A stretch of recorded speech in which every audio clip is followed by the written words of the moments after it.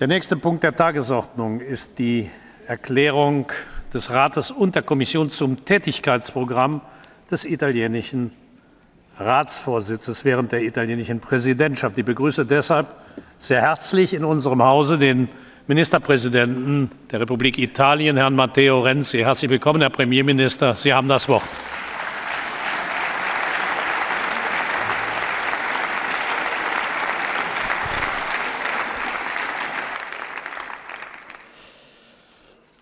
Signor Presidente Schulz, onorevoli membri del Parlamento europeo, di cuore il buon lavoro e l'imbocca al lupo da parte di tutto il popolo italiano, delle istituzioni italiane per il mandato che vi accingete a iniziare. Bocca al lupo a lei, signor Presidente, complimenti per la sua elezione, ma in bocca al lupo e complimenti per l'elezione a ciascuno di voi, membri del Parlamento europeo. Avete una grande responsabilità, riportare fiducia e speranza nelle istituzioni europee e avete da subito avuto la massima collaborazione del Consiglio, che ha scelto di rispettare come era doveroso e secondo me come era politicamente giusto le prerogative del Parlamento e il rispetto della campagna elettorale. Per tutti questi motivi dunque sono felice, sono felice e onorato di rappresentare il mio Paese. Lascio alla Presidenza, signor Presidente, il documento scritto che affronta tutti i temi che nel semestre italiano vogliamo portare all'attenzione delle istituzioni. Dunque non svolgerò un intervento scritto puntuale con eh, gli ehm, adempimenti e le scelte che l'Italia ha fatto per questo semestre, lasciandolo alla vostra attenzione nel testo scritto che vi consegneremo.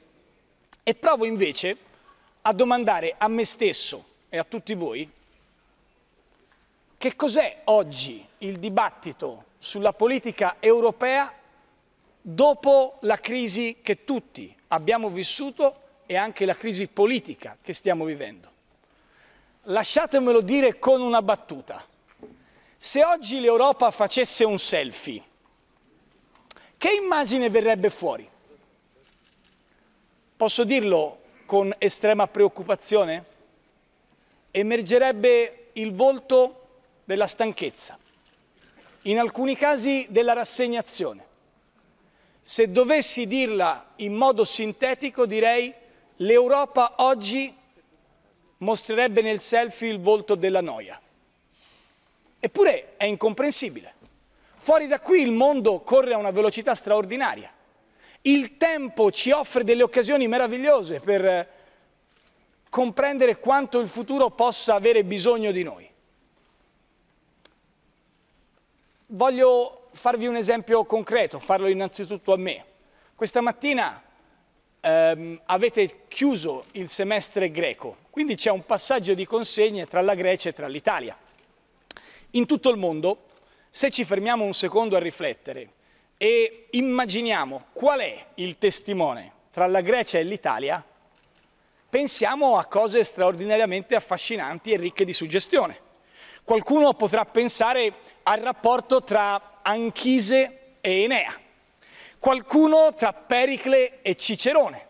Grecia e Italia potrebbe essere l'Agorà e il Foro, il Tempio e la Chiesa, il Partenone e il Colosseo. E invece noi non pensiamo a questo quando in Europa discutiamo tra Grecia e Italia e non pensiamo nemmeno alle domande sul senso della vita, nonostante Aristotele e Dante Alighieri o Archimede e Leonardo da Vinci. Noi pensiamo alla crisi finanziaria, allo spread, alle valutazioni economiche, alle difficoltà finanziarie. Perché? Perché è molto forte nel nostro corpo la ferita che ha lasciato la recente difficoltà congiunturale economica.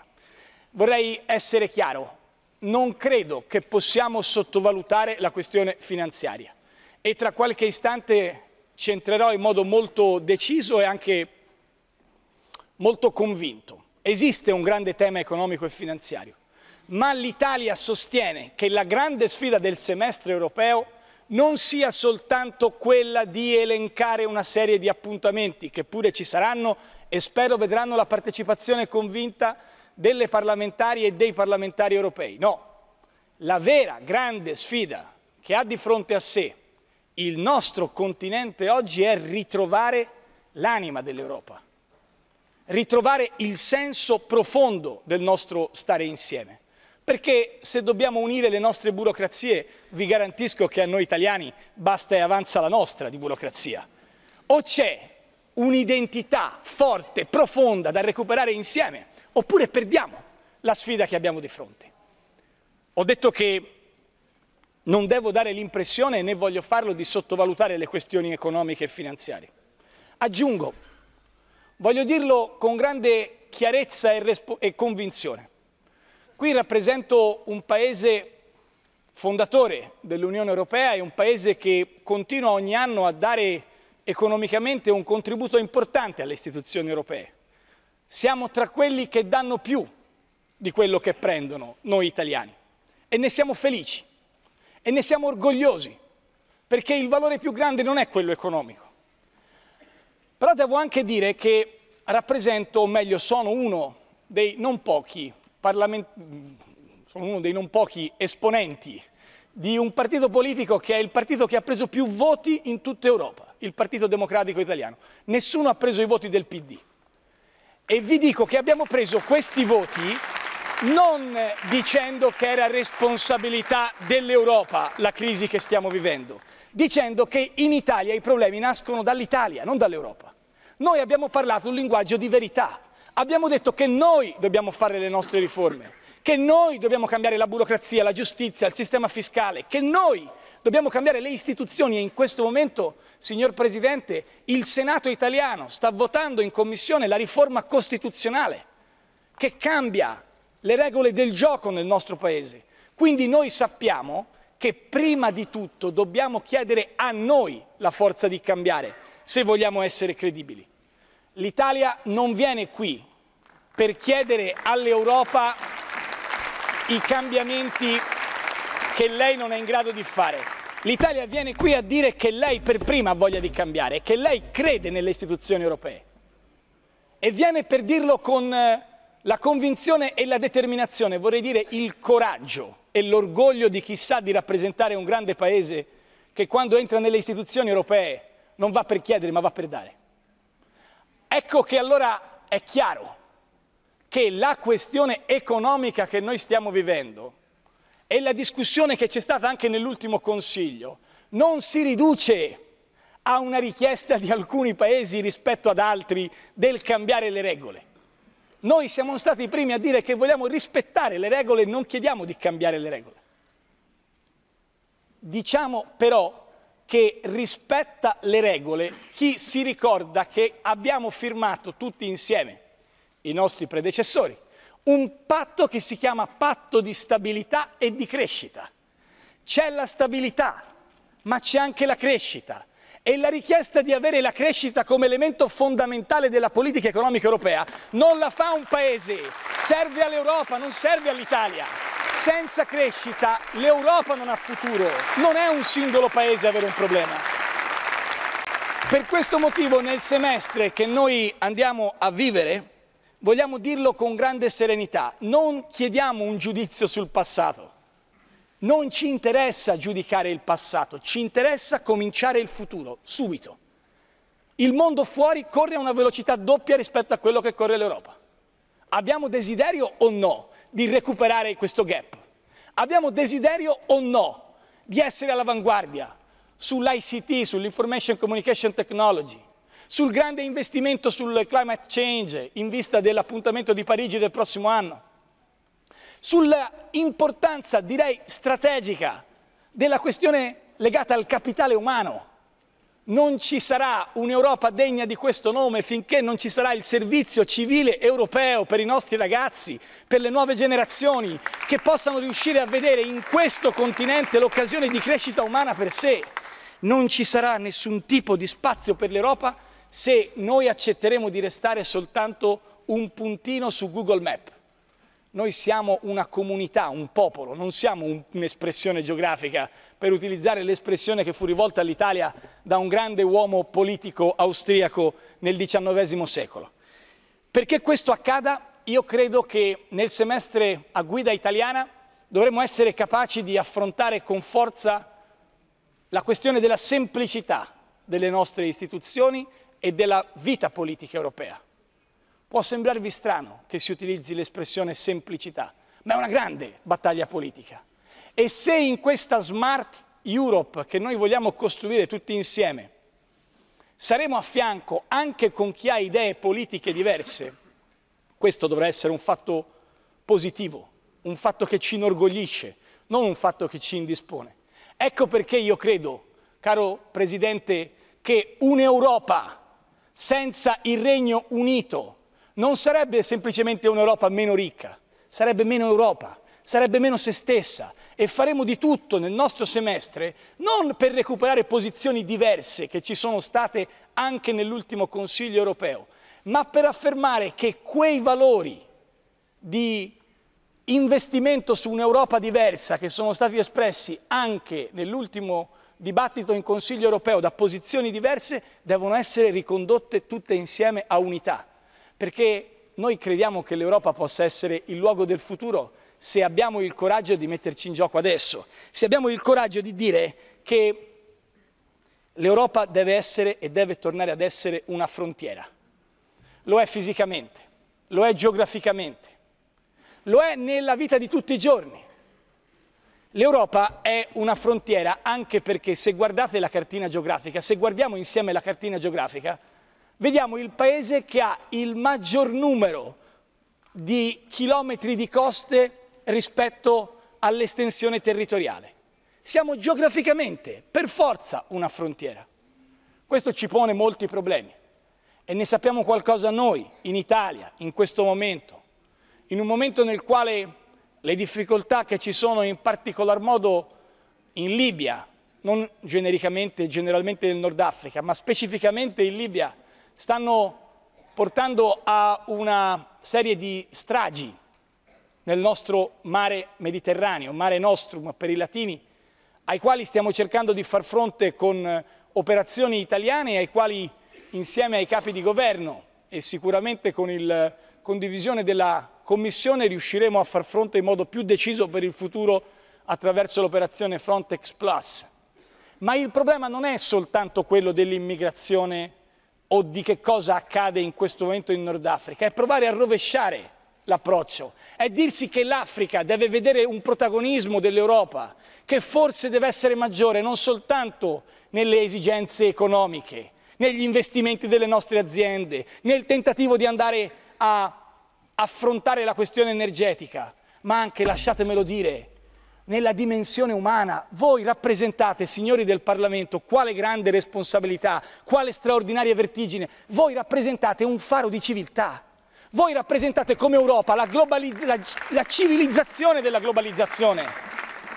Se di fronte a una donna che si chiama Asia Bibi e che voglio vedere il cui nome voglio sentire pronunciare in quest'Aula, che è ferma da quattro anni in un carcere perché cristiana in Pakistan, non c'è l'Europa che si indigna, non vuol dire che noi non stiamo corrispondendo al nostro, alla nostra chiamata, al nostro destino.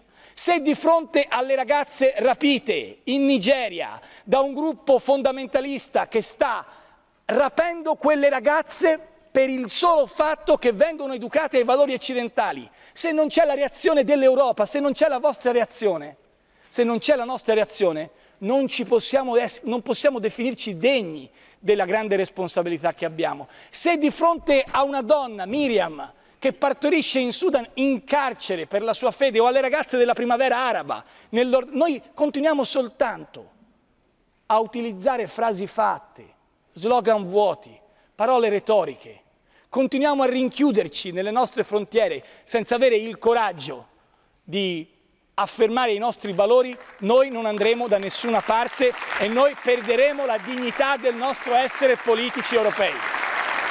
E allora lasciatemelo dire concludendo, concludendo, signor Presidente, noi siamo una frontiera. L'Italia vuole vivere questo semestre immergendosi nello spirito della discussione europea con grande determinazione, portando la propria voce sulla politica estera, in una cornice in cui non, diciamo con forza che non si può non ascoltare, è stato anche in questo caso eh, oggetto dell'ultima riunione del Consiglio, il, la voce che chiede libertà, che chiede Europa, che arriva dall'Ucraina e dai paesi eh, dell'est del nostro continente e contemporaneamente vogliamo dire con grande decisione che non si costruisce un'Europa contro il nostro maggior, il nostro maggior vicino. Non possiamo, essere, non possiamo essere ciechi di fronte a ciò che sta accadendo in questo momento in Medio Oriente, con eh, dei ragazzi che hanno il diritto di crescere e diciamolo con grande franchezza, l'Europa può e deve fare di più per affermare il diritto alla patria che ha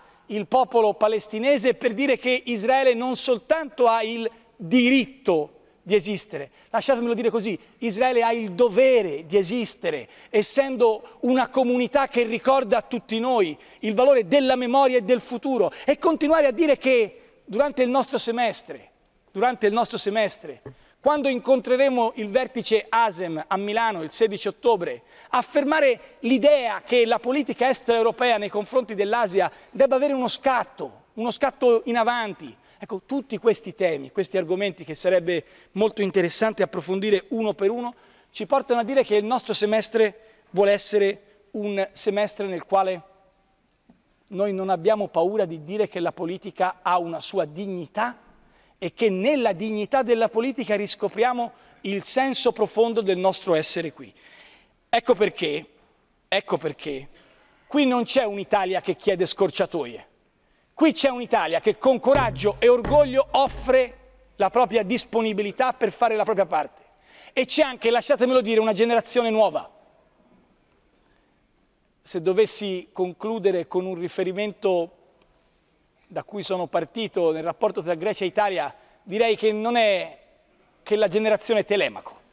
Noi abbiamo fatto c'è una epopea bellissima nella letteratura su Ulisse, perché Ulisse è il grande personaggio che affascina e emoziona, e poi perché Ulisse ha animato non soltanto la letteratura antica, ma anche da Dante Alighieri a Joyce, il pensiero e la letteratura di tante parti del nostro continente.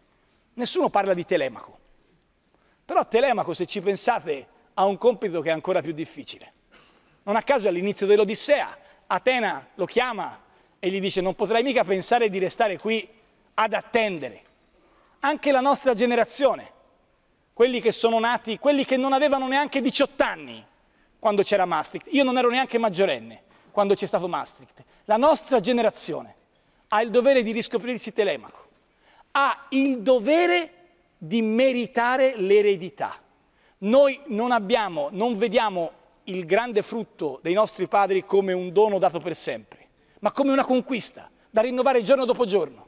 E allora l'invito di questo semestre europeo non è semplicemente a ragionare di questioni economiche, su cui ve lo garantisco ci faremo sentire con tutta la nostra forza con la forza di chi è un grande paese e di chi contribuisce al bilancio dell'Unione in modo maggiore di quanto eh, incassa. Ma non è semplicemente nella moneta che abbiamo in tasca il nostro destino. Il nostro destino è nel riscoprirsi eredi, nell'avere il diritto di chiamarci eredi, nel prendere la grande tradizione dalla quale noi veniamo e dire che assicureremo un domani a questa tradizione. Lo dobbiamo ai nostri figli, lo dobbiamo a coloro i quali sono morti nel corso di secoli perché l'Europa fosse non soltanto un'espressione geografica, ma un'espressione dell'anima. In bocca al lupo a tutti noi.